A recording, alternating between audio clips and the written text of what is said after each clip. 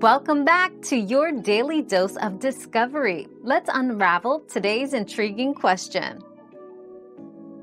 The concept of a holy number varies greatly across different cultures and religions. In Christianity, seven is often considered holy due to its frequent appearance in the Bible, symbolizing perfection and completion. In Islam, five is significant, representing the five pillars of Islam. Hinduism regards 108 as sacred, a number with spiritual significance in rituals. The interpretation of a holy number is deeply tied to specific religious contexts and beliefs making it a concept with multiple meanings depending on cultural and religious perspectives.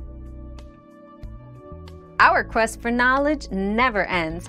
Thanks for being part of today's discovery.